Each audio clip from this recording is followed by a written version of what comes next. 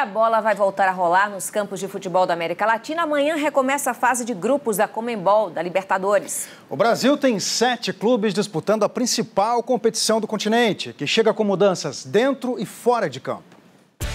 A torcida está com saudade e Carlos ainda mais.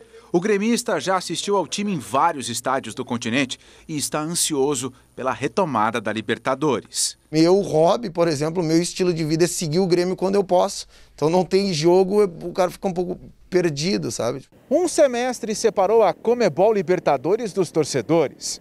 Tudo parou na segunda rodada da fase de grupos. E de lá para cá, teve muita mudança. Por conta da pandemia, a Confederação Sul-Americana decidiu no domingo que cada clube poderá inscrever até 50 jogadores na competição.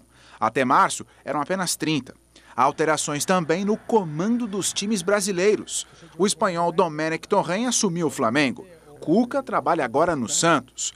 O Atlético Paranaense viajou para a Bolívia, onde nesta terça-feira vai encarar o Jorge Wilstermann, também com um técnico diferente e otimista.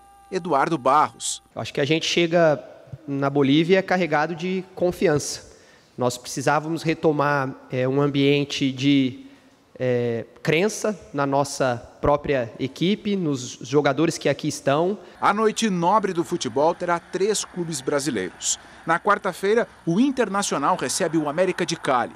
Será pela TV que Carlos verá o Grêmio diante do Universidade Católica, em Santiago.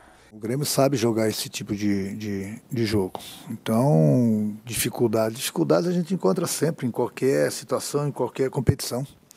Principalmente se tratando de Libertadores e jogando no Chile. E o Palmeiras já está na Bolívia para encarar o Bolívar. A altitude é uma coisa, é uma surpresa para muitas pessoas que nunca foram na altitude. São mudanças importantes. E aí você quebra essa surpresa. Por isso nós estamos indo dois dias antes. A semana do retorno vai ter o Flamengo no Equador contra o Independiente Del Valle e o São Paulo recebendo o River Plate. Sete clubes brasileiros retomando o mesmo sonho. Serão dias para matar a saudade e a torcida sabe bem como quer o fim da espera. Digo goleada porque é Libertadores. Né?